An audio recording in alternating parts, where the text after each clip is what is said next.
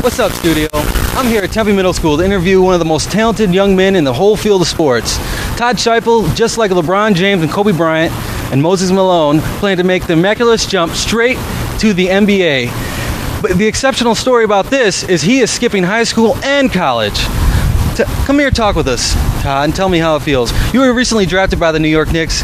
What do you feel about moving to New York and playing for them? I think I'm. I think it's going to be great. I'm. It's going to feel good being there. I'm going to give 110 percent. Bring the team to where it needs to be. Get them in the playoffs and show them that we can win an NBA championship. Yeah. What What do you feel about all the money they're paying you? Do you think that uh, you're well worth 50 million dollars a year? Hell yeah, Kobe Bryant was worth the same amount, but maybe more. But I think I. I think it'll be great. Okay. Well, we're gonna go. I'm gonna go over the sports scores, and I'll let you see his skills, so you don't think I'm lying.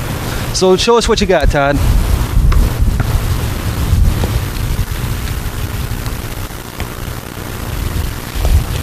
Yankees over the Braves, six to two.